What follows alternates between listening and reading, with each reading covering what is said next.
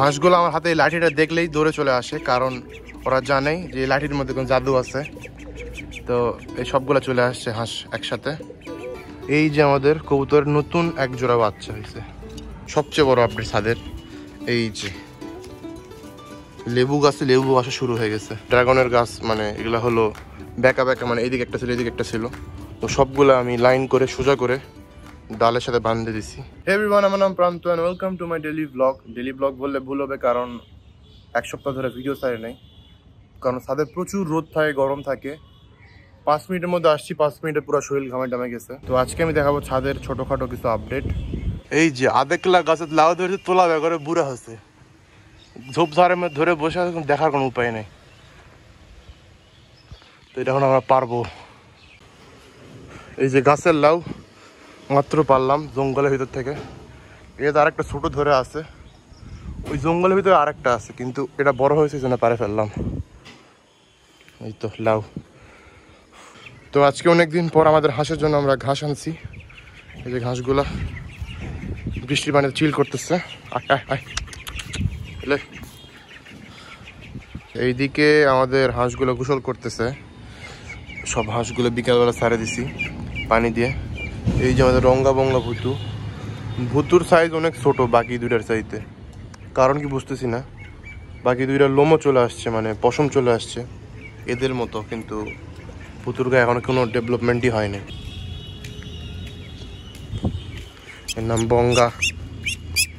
এই যে। আর বড় বড় হাঁসগুলোর আপডেট হলো, দেখলাম যে মিটিং করতেছে। মেবি ডিম দিবে খুব তাড়াতাড়ি। সবাই রেডি গোসল দেওয়ার জন্য। অলমোস্ট দুইটা হাঁসেরই রং চলে আসছে, কিন্তু মাঝখানকার এইটা, এই ভুতু, এর এখনও কোনো কিছুই হয় নাই, যেমন প্রথমে ছিল তেমনই আছে। এর গ্রোথটা একটু কম হইতেছে।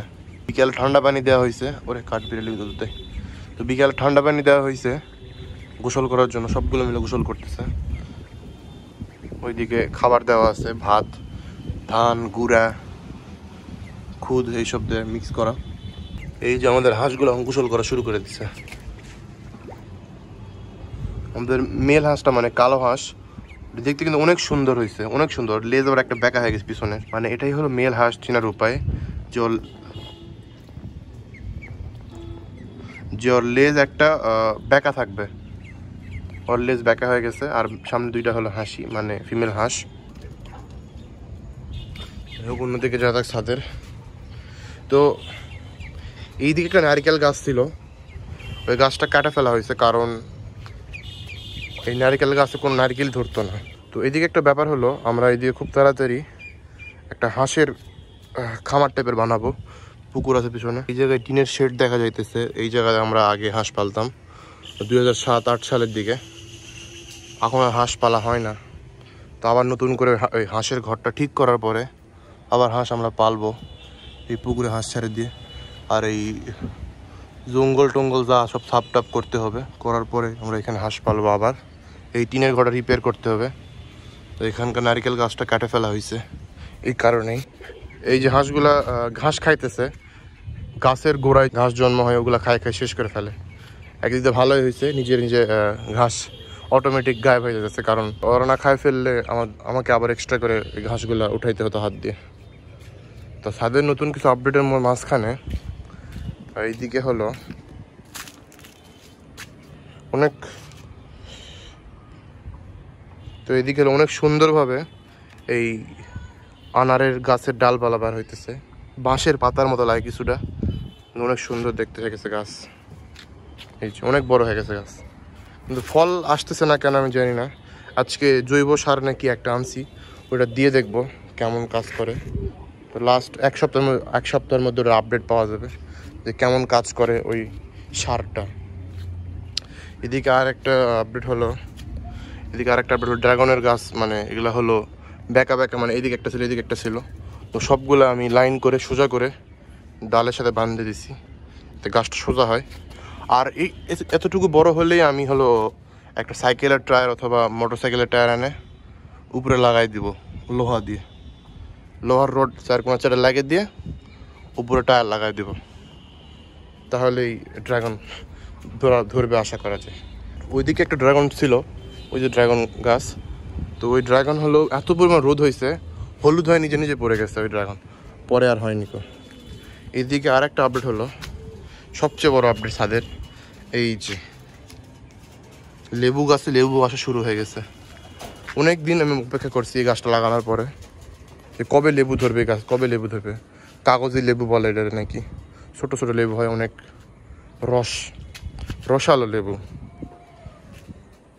তো এখানে ফুল আসছে ফার্স্ট টাইম তো গাছটা লাগানোর পরে ভাবছিলাম যে অনেক দিন ওয়েট করছি, করার পরে দেখি যে ফুল টুল আসে না। তো ভাবলাম যে গাছ রাখে লাভ নেই, কারণ ফুল আসবে না হয়তো এই গাছে। তারপরে কিছুদিন আগে ইউটিউবে দেখে এখানে কিছু কাটিং করেছে গাছের। তো গাছের কাটিং করার পর নতুন নতুন ডালপালা বের হয়েছে এই যে নতুন নতুন ডালপালা। তো এখানেই ফুল আসছে নতুন ডালপালার ভিতরে। অনেক জোস আর এইদিকে হলো আমার কাটিমো নামের গাছে নতুন নতুন ডাল বার হইতেছে। এই যে। তো এই যে আমার কাটিমো নামের কাছে নতুন নতুন ডালপালা বের হইতেছে। ফল কবে ধরে তা জানি না কিন্তু ধরলেই ভালো। তো এইদিকে আমাদের মালটা গাছে নতুন নতুন ডালপালা বের হইতেছে অনেক। কিন্তু পোকা খায় ফেলে দেয় পাতাগুলা। পোকার অত্যাচারের শেষ নেই। উপরে অনেক ডালপালা বের হয়েছে এইদিকে আছে হলো গ্ল্যাডিউলাস ফুলের গাছ। গাছটা অনেক সুন্দরভাবে বড় হইতেছে। ফুল ধরবে কবে তা জানি না। কিন্তু এটার জন্য আমরা ওয়েট করব। এই যে এইদিকে হাঁসগুলা খাইতেছে অনেক সুন্দর করে। এটা একদম পুরোপুরি রং চলে আসছে। আর অল্প একটু আসা বাকি আছে এই হাঁসটার। নাম বঙ্গা। এর নাম রঙ্গা। আর ওর লাস্টেরটার নাম বুতু এই যে আমাদের কবুতরের নতুন এক জোড়া বাচ্চা হয়েছে।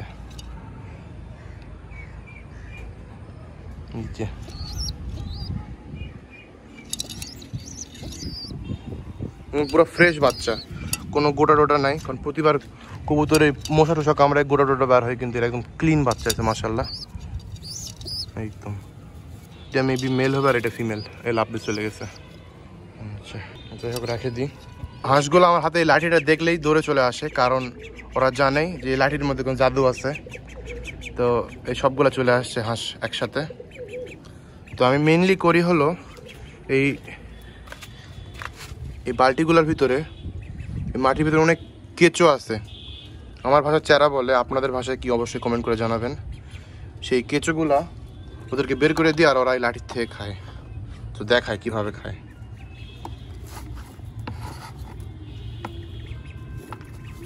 আদৌ আছে নাকি নাই? এই যে একটা উঠছে। তো এখন আমি নিয়ে যাব হাঁসিগুলোর কাছে। এই যে। এই যে খাই ফেলছে। আমাদের ভুতু খাই ফেলছে। ভুতু এগুলোতে এক্সপার্ট অনেক খায় এগুলো। আয় আয় আয়, এই টবে নাই কোনো মাটি। এটাতে দেখি। মাটি শুকায় গেছে, মাটি ভিজে ভিজে থাকলে চেরা উপরে মানে কেঁচোগুলো উপরে থাকে। এই যে আরেকটা পাইছি। ছোট্ট ছোট্ট, বেশি বড় হয় না। জানি এগুলো হলো প্রকৃ- প্রাকৃতিক নাঙ্গলের কাজ করে। মাটির ভিতরে কিন্তু হাঁসগুলোরও খাবে এই যে। হাঁসগুলো অনেক ক্ষুধার্ত। এলাও তোমরা খাও। বড় বড় চারা মানে কেঁচো থাকলে ভালো মানে ছোট ছোট তো। ওরা মাটিও খাবার মনে করে খায় ফেলে যে জাদুর লাঠি। এই যে আমাদের ভুতু। খুব একটা ভয় পায় না আমাকে। জানে আমি ওদের হ্যাঁ, জাদুর লাঠিতে খাবার দিই। তো খুঁজি আর আছে নাকি? এই যে। ছোট্ট ছোট্ট, বেশি বড় না। এই ছোট্ট একটা। এই এই যে।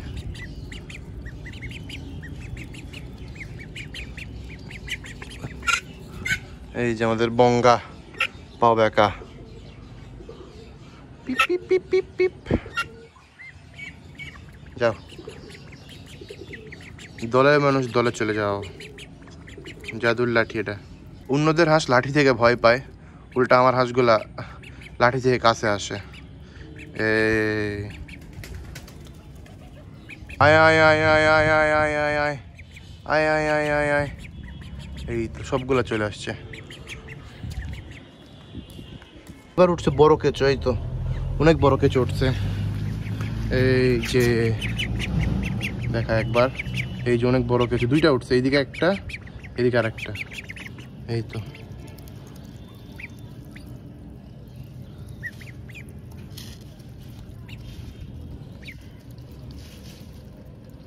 সব খায় ফেলছে। মাটি টাটি সব খায় ফেলে। কিরে, মাটি খাস কা? এই, ওমা, কিরে, মাটি খাস কা হ্যাঁ? মাটি খাস কা? আর কিছু নাই। যা, বহুত কিছু খাই ফেলছো। তো এই ভূত তো আমাকে অলওয়েজ ফলো করে। এই যে অলওয়েজ ফলো আমি যেখানে যাওয়ার পিছিয়ে পিছে চলে আসে, এই তো। ওর সাথে সাথে বন্ধুরও আসতেছে। যা, বিকেলের টাইম গোসল কর, যা যা যা যা যা। গোসল করে তাড়াতাড়ি মোল্টিংটা হয়ে যাক তাহলে লোমটম সুন্দর মতো বেরোবে মুরগিগুলোকে নিয়ে আমরা ভাবছি, একটা মুরগি কিনে আনব, বাজার থেকে আর একটা খাই ফেলব। তো লালটাকে মানে মেইন এই কোনো গেল। এই বড় লালটাকে রাখার ইচ্ছা আছে, আর ওটাকে খাই ফেলব। আর ওর বদলে একটা বাজার থেকে মুরগি আনব। তখন মুরগি ডিম দিবে। এখন একটু মোটা বেশি লাগে বডি বিল্ডার কাকতারও হয়ে গেছে। এটা লাগানোর পর থেকে কাকের ডিস্টার্ব কমে গেছে ছাদের উপরে। অনেক কার্যকর। এই জন্যই পুরাতন কালের মানুষেরা এগুলো লাগাইতো ওদের জমিতে। যদি আমি জমিতে লাগাই না ছাদে লাগাইছি, তাও কাজ করতেছে। তো আই হোপ আপনাদের ভিডিওটা ভালো লাগছে। ভিডিও ভালো লাগলে অবশ্যই লাইক কমেন্ট শেয়ার করবেন। টাটা।